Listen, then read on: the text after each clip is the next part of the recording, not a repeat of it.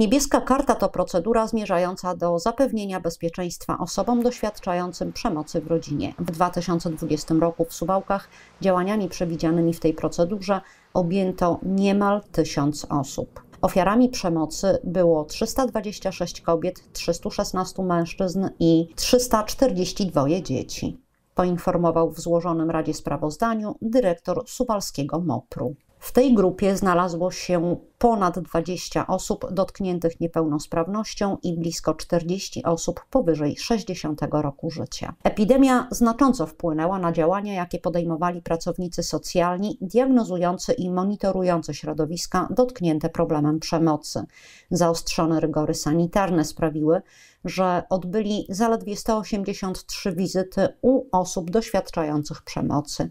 Rok wcześniej takich wizyt było ponad 1300. Starali się jednak zrekompensować tę zmianę, utrzymując z potrzebującymi pomocy rodzinami kontakt telefoniczny.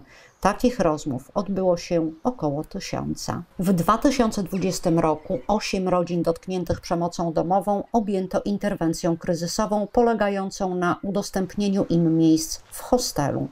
Rok wcześniej taka potrzeba wystąpiła tylko w jednym przypadku. Skala i skutki zjawiska domowej przemocy skłoniły również Ministerstwo Sprawiedliwości do nowelizacji przepisów. Od 30 listopada 2020 roku to nie ofiary przemocy muszą opuszczać domostwo.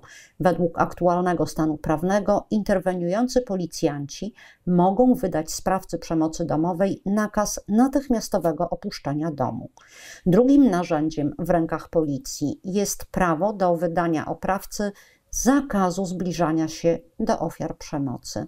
Jak nas poinformowała oficer prasowa suwalskiej policji, funkcjonariusze naszej komendy od 30 listopada ubiegłego roku, czyli przez zaledwie cztery ostatnie miesiące, wydali aż 11 takich nakazów.